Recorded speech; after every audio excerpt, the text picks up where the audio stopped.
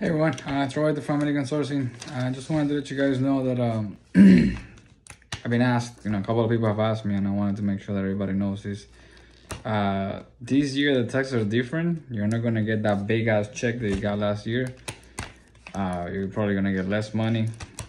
Uh, if you have 1099s, you know, what are you expecting from life? Start putting a bunch of expenses for your business, you know, and get rid of the taxes that you have to pay back uh, if you're a W2, don't expect to get a bunch of money back because now you don't have all of the credits that you had uh, because of COVID-19. So, you know, just go into your tax professional with the mentality that this year is going to be less.